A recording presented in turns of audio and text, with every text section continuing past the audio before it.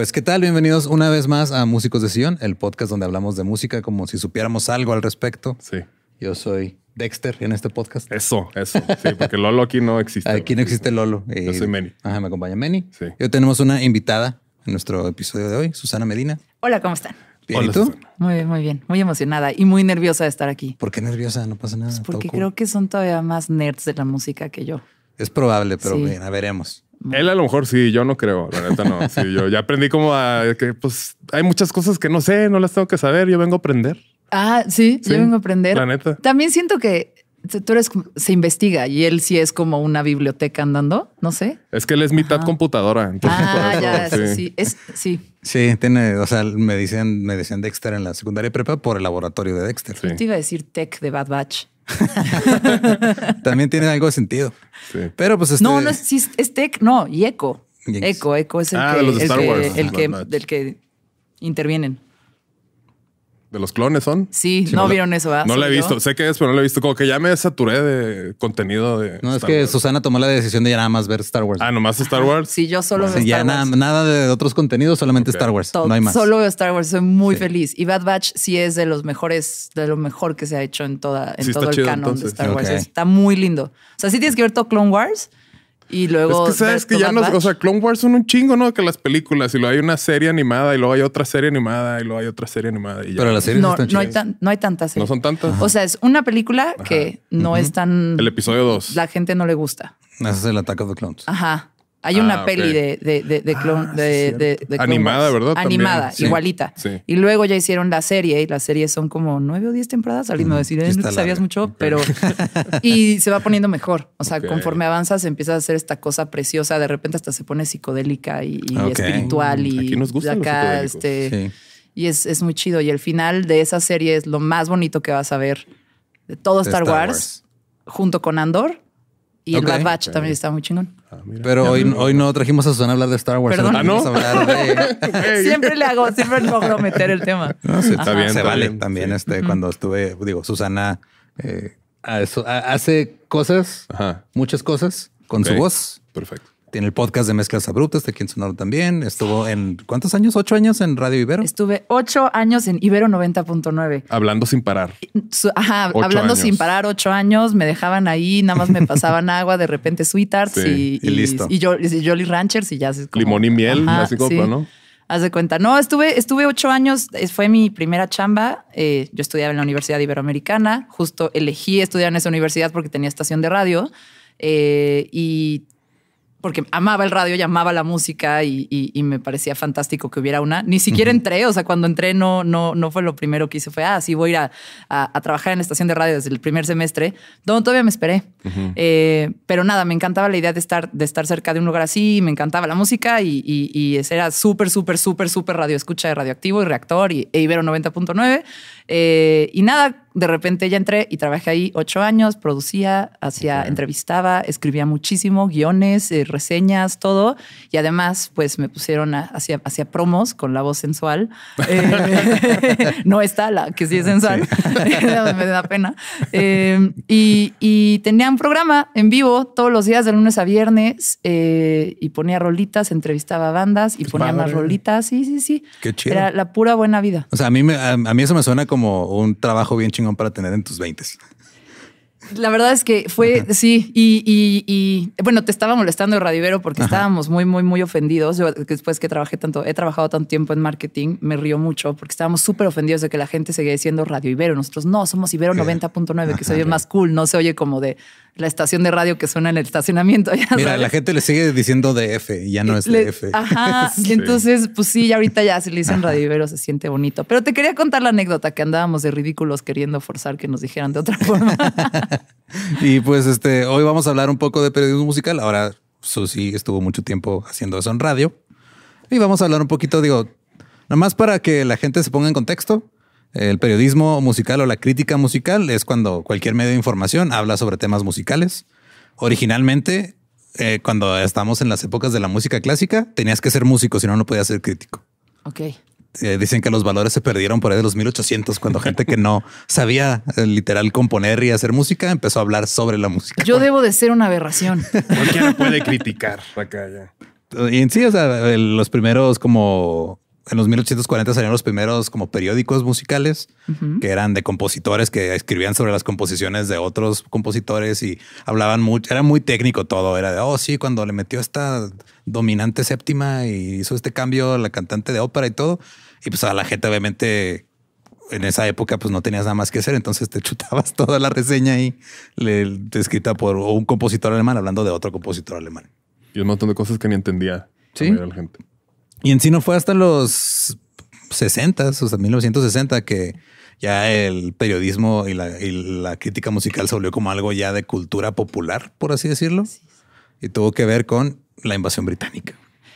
Esos británicos siempre, ¿verdad? Poniendo- Pues sí, no, es que no había necesidad de hablar de música hasta que realmente se hizo comercial y- Sí. y, y una cultura y algo que pudieras reproducir en tu casa y que no... Hablamos mucho en el episodio que fuiste de mezclas abruptas de que la magia, o sea, que a mí lo que me fascina de la música es que es efímera.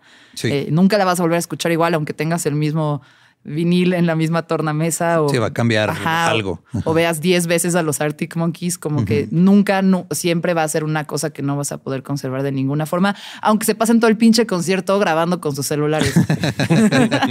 Y así, de hecho, hoy vamos a hablar de eso. Así, ¿Por qué están grabando? Ni siquiera ven los clips. De hecho, técnicamente los, los primeros rockstars que fueron seguidos por gente que no era como compositor o así, escritor de música muy cabrón, que tenían como ya este estatus de eran estrellas dentro de la música, fueron Liszt y Paganini. Y ellos traían ahí a los periodistas musicales, o sea, no, pero periodistas ¿Son, los que no, normales. ¿Son los que no cantaban? Eh, Liszt tocaba el piano y Paganini. Ah, los confundí con Milli Vanilli. Ok, dije, Sí. Y ellos empezaron ya como em, a, o sea, empezaron a escribir de ellos Ok. y salían en revistas que no se dedicaban más a la música y empezaron a escribir de ellos así como reporteros normales. Y ya como que ahí se, ahí se perdieron los valores ya. O sea, ya de ahí es de cómo te atreves a nomás A ella decir les que pedían, había fírmame estas partituras. Ah, casi casi. De hecho, la, Ajá. la canción de Phoenix de Listominia eh, se llama así porque se supone que había mujeres que se desmayaban cuando veían tocar a Franz Liszt el piano. ok. Órale. Qué loco. Yo hubiera pensado que con Mozart empezó la primera fanea, como lo faneado. Por ser un chavito. O sea, porque era como el Luis Miguel de, de- de la música clásica, que en ese Sí. entonces no era clásica, era música. La música. Era la Pero música era nada como más. este niño que creció, ya sabes. Hubiera pensado que él hubiera sido el primer fenómeno. Pero pues digo, sí fue un fenómeno, pero en cuanto a lo que se refiere a la historia del periodismo en sí, fueron Liszt y Ok. Paganini los que ya hasta tenían así este chismes publicados en revistas y periódicos y todo y, y estaban de medios que no necesariamente eran, que de, eran de música. música y que ya no era, ah, tú tienes que ser este maestro de música o compositor o escritor de óperas para poder Para opinar. entender que anda de cabroncillo ahí Sí, con alguien que no es su pareja. Y algo que empezó a pasar en los 60 fue de que pues ya lo platicamos un poco cuando hicimos los episodios de la invasión británica, es de que la gente tenía esta necesidad como de tener más acceso a, sus estrellas, así que veían a Elvis y es, ah, yo quiero saber más de él. Y empiezan las revistas y los locutores de radio y la televisión a ponerles atención. Entonces, Ok. el periodismo musical abarca, digo, pues lo que, lo que tú hacías más, en- más o menos en radio, está la parte de la televisión y está la parte de las revistas y todo este rollo que empezaron a básicamente a formar una industria de la nada. O sea, porque pues en ese momento, si te pones a pensar, tuvo que haber alguien que habló por primera vez de música eh, en una estación de radio o en una estación de televisión. O sea, ahorita ya lo damos como muy por, por hecho, pero por mucho tiempo pues, la, la- la gente nada más escuchaba la música y nadie se ponía a hablar o opinar de ellos o no querían saber más de los artistas en sí. Es que estoy pensando qué contestarte, pero la verdad es que también por mucho tiempo la música no era de la gente. No, o sea, sí en la parte de, obviamente, en, en- en las comunidades y cuando las hacían entre ellos, pero, pero como la alta música, la música que se tocaba en las óperas o en los salones de, de- de los privilegiados desde aquel entonces, Ajá. pues no, no estaba en las manos de las masas. Entonces no había, no había de qué hablar, ¿no? Eso Sí, exacto. O sea, si querías música o tenías que saber tocarla tú y comprar Ajá. las partituras. O tener O tener acceso como a ir a ver. Exacto. tu compa de la Exacto, tribu que sí, les movía los tambores, güey. Y pues no había como que mucho que reportar. No sé, así como que, ah, sí, la vecina ya se aprendió una de Beethoven en el piano. O sea, El güey que llegaba a la fiesta con sus partituras en vez de llegar con sus CDs, ¿no? Es que yo siempre, cuando ahí va el la- lamento boliviano. siempre en secundaria o en, en primaria, así que un trabajo de equipo ya con mi carpetita de, de CDs, ¿no? Pues para poner acá. sí. Entonces yo, yo creo que llegaría con mis listas de, de rolas. Sí. Tócate todas estas, güey. Oye, el otro día me enseñaron a mezclar con, con discos de vinil, con vinilos. Ajá. Yo no sabía mezclar con vinilos. Eh, aprendí rápido y me gustó muchísimo, pero lo que me cagó fue cargarlos. Ah, pues bien pesado, ¿no? Ajá, Acá, está sí. bien pesado, sí. De hecho, una vez este, allá en Juárez nos, con- nos contó Badia que hubo una fiesta, se los llevaron ahí y en Juárez había unas camionetas que en la parte de atrás traían una como una jaula que les decían las campers. De la y ahí policía. te metía la policía y te paseaba para, para pentejarte un rato. Y hacía tanto calor ahí adentro que al DJ se le derritieron los viniles. Ah, verga. Y también te ¿Dónde está la. CNDH? Cuando la necesitas. Cuando la necesitas. Entonces empieza a pasar algo en los 60 con los reporteros musicales que se volvió como que, o sea, no le pusieron nombre hasta años después, pero entre los 60 y 70 referirte a la música como pop y rock daba lo mismo. Ok. Pero son los reporteros musicales los que empiezan a hablar y empiezan como que a hacer las diferencias entre los géneros de música como tal. Hay un, hay un, yo no, no me acuerdo mucho del nombre y me van a decir cómo, si eso te dedicabas, no te puedes acordar del nombre, pero, pero al final el que le puso rock and roll fue un locutor de radio, Sí. ¿no? que, que lo mencionó por primera vez y ya de ahí se quedó. Sí, ahí se quedó y ya este empezaron a referirse al pop y al rock y el rock and roll ya era lo de los 50, ¿no? O sea, porque eso pasó en los 50 más o menos.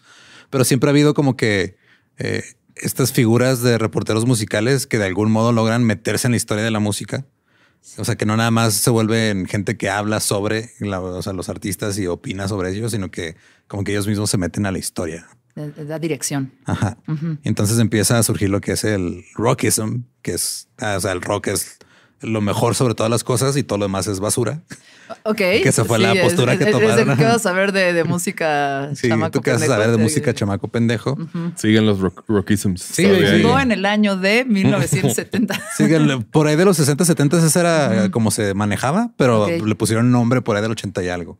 Y luego después de eso sale el poptimism en los 90 que es la gente que dice, oye, el pop también merece este, que hablemos bien de él. O sea, no nomás es Nada más el rock. el poptimismo. Pero el Pop el- el- yo le llamo el pop digno, que es el pop bien hecho. No el de biblioteca, de sacamos los beats de loops que ya están ahí Sí, en las bibliotecas grabadas, sino como el que. David Bowie acá, ok. No, no, no. O sea, pues el que, el que hacía Timbaland, ¿no? Eh, Ah, ok. bueno. Ajá. Bueno, y Quincy Sí, o sea, Jones, ¿no? Pero, pero, pero creo que creo que ahí es donde de repente Los todos Neptunes. empezamos a voltear a ver. Pues de repente, ¿no? Pitchfork en los 2000 jamás hubiera reseñado algo de Destiny's Sí. Child y de repente Beyoncé es el mejor disco del año. Ya Sí, de hecho, justo- llegaremos a- Siempre sale, en todos los capítulos sale Beyoncé. Lo iba a mencionar ahorita, pero no hubo necesidad. A mí me mama, me mamó el último disco de Beyoncé. Es una cosa preciosa, hermosísima. Sí, Los voy a invitar a mi listening party. Sí. Me, me- me compré el vinil y, Ah, y no lo he wow. abierto desde hace meses porque Sí. quiero hacer una sesión de escucha Jalo. Con touch. ¿no? Yo me No, puedo llevar sí. algo. para Sí, acá. sí, yo te puedes ver, pero sí es como muy música de eso, ¿no? Y Sí, yo jalo, la neta. Sí, sí. es- y aparte, creo que es como una especie Yo de tributo Ah, a casi la música bailable en la Pues sí, historia. O sea, es como una especie de resumen y reinterpretación de... de, de- Como se acuerdan de los primeros videos virales así de History of Dance. Eh, Es eso, pero, Pero en en un música. álbum acá, sí, sí. son unas clases de baile. Y en, en sí, antes de llegar a Pitchfork, lo que como que sonaba Perdón mucho. por viajar en no, el no tiempo. pasa nada. O sea, estamos Sí, yo hablando soy de de lo mismo. sí. Pero antes de llegar a esa época, porque yo también soy de esa época. eh, Yo también soy de esa época. Ay, Sí, güey. de Así, hecho, somos de la misma meme. generación, los tres, ¿no? Sí, ¿Qué somos es? de la misma generación. Tengo 36. También. Yo voy a cumplir 36. Bueno, no sé cuándo salga esto. Igual y cuando salga ya tengo 36. Puede ser. Puede ser, no sabemos. A lo mejor nos esperamos a que cumplas 40. 38, 40 Ay, y ya no, no, no. No, y eh, las revistas fueron los, lo que tomaron como que mucho auge al principio. O sea, sí existía como que en el radio escuchabas la música o en los, o en los discos que comprabas, pero en, en las revistas era donde realmente pasaban los reportajes o las cosas así como de interés de los periodistas. En, en Inglaterra sale Melody Maker, que bueno, de hecho est- estaba el New Music Exchange, que es el NME, y sale Melody Maker tiempo antes. O sea, en Melody Maker es de los 1920s, pero ya en los 60s ya se toma como que su- su- se vuelve su propia revista tal cual, porque era como una sección dentro de un periódico. Ah, dijeron, mira, que hay una tendencia de mercado. Los chavos van a querer, Ajá, vamos a ver si les anunciamos tenis. Y el Ándale, que eran como... ¿qué- Pues qué- sí, o sea, es que de hecho lo que pasaba era... Vamos a venderles Converse en No, 950. aquí se vende nomás puro Pumas. Puro Tipster. Puma, sí. Hey, hey. Ah, sí. Puma, también, también en mezclas abruptas. a huevo. Ajá. Eh, entonces está, mira, en el lineup de esa campaña está eh, músicos de sesión, mezclas abruptas y Dana Paola, ¿eh? O sea, Básicamente somos este compañeros. Somos compañeros de Ana Paula. Me encanta. Sí. Entonces Melody Maker se concentraba en el jazz y New Musical Express, NME, se, se empezó a perder terreno porque NME empezó a hablar de rock y de lo que le, le gustaba a la chaviza. Entonces Melody Maker dijo, pues, tráete a chavos a que escriban sobre lo que quiere la chaviza y empezaron a, a- a esta pelea eh, entre NME y Melody Maker que duró 50 años más o Eran menos. enemigos. Corte. A, Almost Famous. Prácticamente, sí. Esa movie hecho, es, sí, es- es es- mi película favorita. No la he visto, güey. ¿Cuál es esa? La de Almost Famous. Es la de... ¿La de Lady Gaga? No, no. No, ah, No. Es una película que tiene que ver, o sea, eh, Cameron... Es alguien que quiere ser famoso, pero pero casi, es lo logra, Simón. Ok. Es sobre un chavito Jamás me lo hubiera que justo Ah. quiere ser este, periodista musical. güey. Ah, sí, no lo he visto, Es un pero chavito sí, de sí. Rolling 14 Stone, años. ¿no? Ok. Ajá. Y empieza a escribir este, pues, o sea, cosas para Rolling Stone y se va de gira con una banda. Simón. Pero los de Rolling Stone no saben que el güey tiene 15 años. güey. Ah, Y está basada en la vida de Cameron Crowe, que él fue escritor para Rolling Stone cuando tenía 15 ok. años. Va, va, va. Ajá. Ya, sí. Fíjate. Que de hecho, pasando al otro y lado del también charco. perdió la virginidad. Esa es otra cosa muy importante A que claro, 15. periodista en, en el viaje con las con las band-aids. Con las que Band-Aids. eran las groupies, pero no puedes decir groupie porque ya son band-aids. Eh, de la banda, ¿cómo se llamaba? Stillwater. Stillwater. Sí. I'm a golden god and I'm on drugs.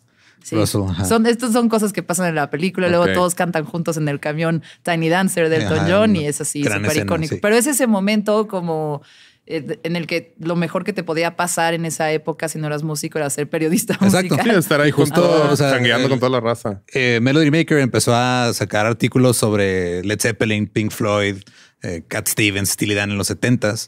Y luego Rolling Stone dice, oye, pues yo también quiero. Entonces Rolling Stone fue fundada en San Francisco en el 67 y el fundador este, le pidió prestado 7 mil dólares a su familia y con eso abrió la revista. Así fue, órale, vamos a ver qué onda. Bueno, Órale. de hecho, o sea, a su familia y a sus suegros. A sus suegros. y la primera portada de, de Rolling Stone tenía a John Lennon. O sea, la, esta revista se llama así por una canción que se llama Rolling Stone de Muddy Waters. Y también se le da crédito por la de Like a Rolling Stone. de y también en el de juego de. Crash Bandicoot hay un nivel que se llama Rolling, Rolling Stones. Ah, sí. FYI. sí. ¿En cuál? ¿En el nuevo? En el. Pues en el, el nuevo creo que es este remake del viejito, pero sí, yo me acuerdo mucho con mi PS1. Sí, man. Acá. Ah, es que yo, yo Stone. lo jugué ahí. Ah, Crash pues ahí. Bandicoot, héroe personal. Sí, sí, sí. Gran juego. Sí, también Sonic. Sonic. También las películas de Sonic están buenas. Sí, Y ya, ya, nuevas- este- las nuevas generaciones están dándose cuenta de que Jim Carrey rifa. Simón. Es el Jim Carrey Renaissance. Ah, sí. Pues sí, les gusta mucho a los niños ver a Jim Carrey como Eggman y a nosotros nos gusta verlo como Ace Ventura. Es como la gente que está ahorita, o sea, los niños que están ahorita viendo Con Jack Jack Black. Black, cantando De Peaches. que ya viste la canción de Peaches, está y luego la escuché y lo, pues es lo que está haciendo Sí. con Tenacious D desde toda la vida, ¿no? Digo, qué chido. Sí, quitando Qué mi chido que los- Así, a ver, quita eso y pon fucker gently. Pero, pero eso, caballeros, eso creo que es la, que t- lo que hace ese güey. Es comedia atemporal, Sí, timeless. está muy chingón. Sí. Sí. De Amo hecho- a Jack Black. Jack Black es, es un gran cantante también. Sí. ¿Lo has escuchado cantar cuando no está haciendo voz graciosa? Eh, Hay una, un video de él cantando el himno nacional en un juego de básquetbol de la Liga Femenil. no. No mames, canta increíble. cabrón? O sea, si para cantar como canta gracioso está difícil. Es, alguien que... se ríe de los dones que hay. Sí, me voy a poner Sí. católica, pero solo es como de los, Los dones dones, de que Dios. Dios. le dio, ¿no? Así es como, ah, sí, no me importa, voy a hacer comedia. No, y no está mal. La comedia es lo más alto, es el más alto arte que hay, pero, pero no, no, no. Lo, lo que te digo yo, si te, te- te- si te- ah, o sea, pero lo que voy es alguien que puede como lucirse de alguna forma, elige hacerte reír y creo que es una gran, gran, gran elección. Y aparte de no, no de inval- vida no de invalida que sigue Black. siendo música y sigue cantando bien chido. No, pues está- hay, está hay un video que acabo de ver, un, un, un- reel del Instagram, porque yo no estoy en TikTok. Digo, si está chingón, va a terminar en un reel de Instagram. ya que te llegue Eh, a... sí, ya, ya voy a entrar al TikTok, lo prometo. Eh, y, y es un niñito en su como musical de la escuela, ya saben, como esos talent shows que hacen los gringos, eh, tocando en el piano, pitches, pitches, pitches. Pero toda la escuela, ah, y está vestido de, de, De Bowser. Ah, de- ajá, del Bowser. Y, y toda la escuela empieza a cantar con él y piel chinita. Imagínate qué chido Qué te bonito. pasa de morrito. Ya sé. Espero que, Cool. que, ajá, no sé, le vaya muy bien. Que no se pierdan las drogas ese niño. Pero hablando de Jack Black, también él, él es mi, mi music nerd favorito eh, en películas. También en, en, en, en High Fidelity sale Sí, con, sale con también. John Cusack eh, y se enoja muchísimo y le grita a la gente que no sabe de música que va a su tienda de discos y, y nada. Ajá. Él está muy, sí, héroe personal, Jack Black. Jack Black, Tiene 30 años haciendo lo que hace. el archienemigo No de Jack White. Ajá, ajá. Jack Gray se van a fusionar y van a hacer. Hicieron una vez algo así, ¿no? Según yo. No sí, sé, tal vez salió en Rolling Stone. ¿Eh? ¿Viste cómo voy a regresar al Ajá, tema? perdóname por distraerlos. No, no pasa nada. Yo estoy acostumbrado. Acá mi compa tiene TDA. Entonces, todo bien. Chocolate. Entonces, este, los de Rolling Stone cuando fundaron este pedo, justo era porque querían capturar esos momentos y hablar. O sea, como que decían es que esto que está pasando en los conciertos, eh, lo hablamos en el episodio que hicimos con Mendicuti sobre la fotografía de conciertos y todo. Empiezan, o sea, quieren documentar esto para como que venderle a la gente, o sea, la idea de güey, es que tienes que experimentar esto en vivo. Y usaban como que las revistas y los reportajes que hacían como un apoyo para que la gente como que pues, viera lo que estaba pasando y dijera, "Ah, yo quiero estar, ser parte de. Es que era algo completamente nuevo. Ahorita Sí. tenemos muchos conciertos y ya luego nos quejamos de que no alcanzamos y que la preventa y que Ajá. si no eres fan from hell de Taylor Swift, ¿cómo se llama? Fan, Fan from something sí. que Ajá. tienen su registro. O sea, si no, si, eso era- lo vemos como muy común, pero imagínate que en ese momento, y, y a lo mejor estoy hablando, me oigo súper eh, así de acá, este, de mis épocas, Ajá. pero lo que es impresionante de ese momento en los 50, 60 y, y todavía 70 es la gente no tenía acceso a ver esos conciertos desde antes. Era una revolución cultural, era una Sí. revolución de valores, era una revolución de como cosas que, que se estaban, te- tenían que, me imagino que si ahorita estamos documentando otros cambios como la inteligencia artificial, Sí, en ¿sabes? su momento, en su momento este era el gran cambio cultural. Ajá. Y por eso que está tanto Rolling Stone y Melody Maker les empezó a ir muy bien porque se afianzaron de esta nueva cultura y de ahí agarraron a la gente que pues compraba sus revistas. Empiezan a salir, por ejemplo, ya en los 70s sale Mick Watts, un reportero de Melody Maker, y hace un artículo sobre David Bowie. Y David Bowie en ese momento no le estaba viendo nada bien. David Jones todavía no despegaba. Y gracias a ese artículo, la gente le empezó a poner más atención. Incluso David Bowie dijo después, o sea, gracias a Mick Watts yo tengo mi carrera. Perdón. Esa es la alarma era, de... era David Bowie. Sí, no, ese es el parquímetro. Sí, me Sí, iba bien, disculpa. güey. Este, no me hagan caso, voy a pagar para que no nos van a poner la araña. Y sí, o sea, justo a, a- a lo que quiero llegar con este ejemplo es lo importante que es tener a un periodista musical que diga, oye, esta persona tiene algo, siento que alguien más tiene que enterarse que esto existe Sí. y usa su plataforma para brindarle atención a algo chingón. Y ahorita son los editores de las tiendas o de las plataformas de streaming como Spotify. Sí, es en los que hacen sus playlists son- hacen los playlists Ajá, y dicen, le voy a dar un featurecito a esto. Ajá. Ahí es donde está el... el- Ahí es donde está el rollo. Digo, no sé si a ti te pasó, porque yo me acuerdo que cuando yo estaba en la secundaria prepa, que escuchaba, había varias estaciones de radio de que llegaban, digo, teníamos en nuestra estación de Limera, allá, bueno, todavía existe órbita, allá en Juárez. Sí. Y luego estaba del lado gringo, está todavía la KLQ, que todavía existe, que es la de eh, rock así normal, digamos de rock de señor, de- Ajá, que llegan poniendo el mismo playlist desde el Sí. 95. Sí, sí, sí. sí. Y había una que se llamaba Hero, que Hero era como un poquito más underground. 94.7. Exacto. esa, sí. Eh, Ya, que- y ahí me gustaba escuchar eso porque ahí me presentaban música nueva Ok. y tenías a locutores que, o sea, ellos es- escuchabas la emoción de ellos decir, ah, esta banda acaba de firmar contrato con tal disquera, este es su primer sencillo, escúchenlo, está bien chingón, suena esto. Y para mí, siendo un adolescente, eso valía mucho. Sí, te transmitía la emoción y todo. Ajá. Era como que. ah, Y tú decías, o sea, te sentías parte de algo eh, nuevo y te sentías como que estabas in en algo. Y siento que esa es la parte como que se ha ido perdiendo, o sea, se ha ido transformando, pero ya esa parte, pues, sobre todo en el, siento que en el radio ya no, ya no pasa tan así porque ya están muy segmentadas las audiencias. Pues mis, mi- mis amigos, mis, mis colegas del radio se Ajá. van a ofender, pero la verdad creo que ese espacio como que ya se transformó y ya no es tanto un espacio de influencia. Yo creo que es un espacio de discusión y también siento que el audio como que puede mutar a muchísimas plataformas. O sea, ahorita estamos haciendo un podcast en video, ¿sabes? Como Sí. que creo que hay muchísimas formas en las que el radio se puede seguir transformando. Pero también en mi vida fue, fue o sea, to- todo a mí me alcanzó como una, una colita donde sí, sí era esa influencia. O sea, Sí. Era, no sé, descubrí, yo descubrí a los Arctic Monkeys, por ejemplo, porque los ponían en, en radioactivo. O no sé si alcanzó a radioactivo o ya era reactor, pero, pero ahí, los, ahí los descubrí y por eso fui a formarme al Mix Up para comprar, todavía sí puedo decir Mix Up. Sí, claro. no, no, sí, sí, que Tower Records, lo este, Va a llegar, córtale, córtale, córtale, córtale. Pues llegarías tú, tú eres la que vende las campañas. No, no soy yo. Ah, ¿no? Ah, ok. Son los de ventas, güey. Yo me gasto el dinero de los de ventas. Ah, bueno, ok. o la marketing de Sonoro. Eh, no, pero el, o sea, a lo que iba un poquillo es fui a- a- al mix-up, me formé, el disco no llegaba, no llegaba, no llegaba, pero yo iba neta todos los fines de semana a la Plaza Cuicuilco, eh, al mix-up, para ver si ya había llegado el disco y me lo apartó el joven del mix-up, muy buena onda. Qué y eso es solo el poder de alguien que lo ponía, no sé, me imagino que era la Reclu o ya sabes, que lo ponía y lo ponía en reactor y, y radiactivo, perdón, me acuerdo, este, y yo estaba obsesionada. Y todavía después en, en 90.9, en Ibero 90.9. En Radio Ibero. En Radio Ibero. en la Radio Ibero. Eh, nos, nos llegó a pasar y, o sea, te voy a contar esa anécdota porque la verdad Sí, es de las cosas que sientes bien bonito. Para eso te trajimos. Eh, Que nos cuentes tu Eh, experiencia en esto. o sea, un ejemplo que pienso es el, el poder que teníamos. O sea, mí- yo sentía que no le hablaba a nadie. O sea, pues hacía un programa en una cabina, no veía nada. Sí, tienes Twitter y te escriben, pero yo como que pensaba que, o sea, que- como que hasta me hacía bien no pensar que había alguien escuchando porque Ajá. se me quitaba el nervio, ¿no? Em, pero O de te podía repente una vez. más tú, ¿no? Como más en tu Sí, no, zona. mira, o- si no estás pensando que, que- que- o sea, ¿qué van a decir de ti? Imagínate que ni siquiera piensas que hay alguien que va a decir algo de ti. Pero pues ese era mi cerebro así de, de- de- de que también se me va un poquito el avión, eh, que, que, pues me metí en mi mundo y, Sí. y Y ahí hacía lo mío ajá. y no me preguntaba mucho qué estaba pasando ahí porque lo que hacía me encantaba. O sea, de verdad, ponerle música a la gente es de las mayores alegrías de mi vida y poner más música y, y luego escuchar más música.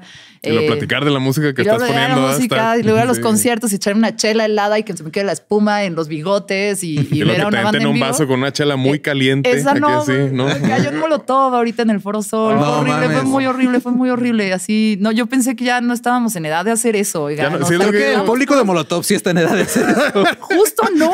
Ah, ya, ya. Sí, chale, ya entendí. Quiten el trap y avientan así miados. ¿verdad? Ay, desde los pañales, güey. Sí. Sí, aventando sus tenas. Ah. bueno, pero una vez me llegó un tweet que decía, porque obviamente nivel 90.9 era puro snob y, y, pues güey, en ese entonces si hablabas de Justin Timberlake, ¿qué te pasa, güey? Claro. Poner a Justin Bieber, sorry, en el radio ahí era un sacrilegio. De hecho, una vez me peleé con Por Leonardo Arriaga porque puse Beyoncé Que aquí por no el hay rockismo, güey. ¿Cómo era? Optimismo aquí no. Ni sabían el término. No abrían Pitchfork. así. No, y, y- y un día me llegó un tweet que decía: Gracias a arroba Susie Rain me pude, eh, entendí por qué está chido Justin Timberlake. Y fue como: ¡Ah! ¿Qué Sí, hay gente escuchando, güey. Sí, güey. Qué chido. Hay gente escuchando, pero esa es una anécdota personal y a mí me ayudó mucho. Pero una cosa que estuvo muy padre de, de Ibero 90.9 es que de repente sí hizo que bandas vinieran. Ajá. Estaba, ¿se acuerdan de Astro? Una banda chilena que tenía una canción precisísima. Siento que te va a gustar porque era Ajá, como no me medio, suena. Ok. medio shoegazera la rola. Después se volvió Uf, como muy sí. electro, pero tenían una que se llamaba Maestro Distorsión. Ok, va a estar en el playlist. este episodio. Ajá, está muy chingona esa rola. Y la, la descubrieron, yo que sé, en un blog, eh, o- porque David Hernández, que era el programador musical de Vero 90.9 y sigue siendo la persona que más sabe de música y el mejor gusto musical del mundo, eh, ese güey los descubrió, los empezó a programar en la estación, todos, a todos nos encantaba, lo poníamos y pegaron cabrón y terminaron viniendo a México un montón de veces a hacer un disco, o sea, nada más de que a alguien le gustó un chingo su rola del radio, en ese momento pues tuvo mucho poder y se convirtió en una gran historia que ahora ya Astro no existe, pero vinieron hasta el, hasta el Vive Latino y los sabes. chingón. O sea, y- y- ese y es el poder de justo. O sea, cuando, El poder de la radio. El poder. cuando trabajan, o sea, tanto o sea, los medios que de difusión junto con los artistas y hacen clic chido, esas son las cosas chidas que pasan. Que justo lo que hacían. Ese era el momento. A en mí las- me tocó el final. lo, lo que hacían las revistas en, en esta época, por ejemplo, gracias a Melody Maker, empezaron a, a poner atención a otros géneros que estaban como más underground, ¿no? O sea, que dijeron, ah, un, un reportero dijo, güey, escuché una banda de punk, deja, voy a hacer un reportaje del punk. Y de repente la gente se entera que existe este movimiento. empiezan a, a- a hacer coberturas sobre el reggae y el soul Justo también. te iba a decir el reggae. Ajá, y empieza la gente a poner atención a un género que a lo mejor no habían, este, lo, lo habían pasado así por encima. Y luego les cae. Y luego ya, sí, y luego llega The Clash y mezcla todo junto. Ajá. Y lo que empieza a pasar en, en, en Inglaterra no pasó tanto, pero en Estados Unidos, que siento que tiene que ver con el hecho de que es un país con mucho ego. eh, los, los mismos escritores y editores de la revista Rolling Stones empiezan a volver rockstars ellos. O sea, entra gente como Hunter S. Thompson a escribir Hay otra Rolling película Stone. de The Boat That Rocked. Ándale. ajá. Ajá, que todos son de una radio pirata Una y radio todos son más sí. rockstars que los rockstars. Y, Ajá. y- y empiezan como que a volverse personalidades los mismos escritores. Empiezan ellos a, o sea, digo, Cameron Crowe, Lester Bangs, se vuelven así como estas figuras míticas que ya se sienten ellos con el poder. O sea, ya se dan cuenta de yo tengo el poder de hacer o chingar a quien yo quiera. Y eso ya a mí se me hace que es donde se empieza a desvirtuar un poco el, el punto. O sea, porque o sea, ¿para qué quieres chingar a alguien o para qué quieres darle una crítica negativa a alguien nada más para que la gente diga, oh, ese güey es bien edgy? O sea, a mí Sí, no. para para qué quieres usar tu poder para el mal. Sí. Sí, así se crean los supervillanos. Así creo. dijo tío Ben. Yo- bueno, ya no quiero intervenir. No, no, No, adelante. Pero creo que yo siempre he estado muy en contra de todos los críticos de, de- de cualquier cosa, ¿sabes? Que, pero particularmente de la música, que, que, que lo, que están buscando que está mal. ¿No? Sí. En lugar de, hay, hay, o sea, creo que con la música siempre tienes que ver si te puede sorprender y luego decir, si no me sorprende, a lo mejor hay algo que todavía no entiendo, como a mí me pasa con Taylor Swift. Eh, digo, no voy a insistir mucho, ¿no? La vida es corta, escucha música que te guste, pero, pero, pero sí creo que, que de repente en lugar, e- esa gente que tuvo mucho poder y que empezó a usarlo como para encontrar qué está mal y yo verme más inteligente, no, no le está haciendo bien a nadie, ni a la cultura, ni a los vibes de la gente. O sea, perdón Sí, que me ponga Eso de- empezó a pa- a pasar mucho después de los 60 que se acaba, pasa el Summer of Love y empieza todo el desmadre ya de la- o sea, las guerras y todo el, el- el asunto post hippie. llegan estas personas que se hacen llamar a sí mismos intelectuales, que digo, si eran personas muy capaces, que tenían de repente cosas muy chingonas que compartir, pero luego se enfrascaban a veces en el tirarle eh, mierda nomás porque sí. De hecho, Rolling Stone ahorita ha sacado ya varios artículos de ellos diciendo 15 reseñas eh, de discos que no entendimos en su momento. O sea, de cuando le tiraron mierda a Led Zeppelin, cuando le tiraron mierda a Jimi Hendrix, cuando le tiraron mierda como algo, es Y- que esto está mediocre y no está chido y quién sabe Porque qué. es alguien que tenía que ir a terapia, güey. ¿no? O sea, ya decía, la prueba del tiempo, tú te equivocaste. No, no, no, nada de eso. O sea, yo creo mucho que hay, hay, hay. Me pasaba con Lana del Rey, ¿no? Cuando empezó a sonar, la poníamos en Con Blue 99 Jeans. y todo. Ajá, video games. Sí. Eh, y como que empezaron a decir, no, es súper fake y no está chido y ves esta cosa como medio falsa y quién la hizo, ¿no? Así de to- todo ese rollo es como, güey, ¿qué importa? La rola te gusta. Está chida. La rola sí. te gusta, o sea, no hay que juzgar a la morra, la rola está muy chida, hay que ponerla y es, y es lo único. Y si no te gusta, en lugar, pues igual y nada más no la pones, ¿no? Sí.